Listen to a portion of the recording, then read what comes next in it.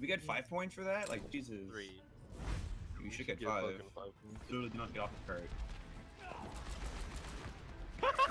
What? Give it an RNG, take it away. Your crosshair was on that. That was just bad RNG, dude. Yeah, that was horrible, RNG.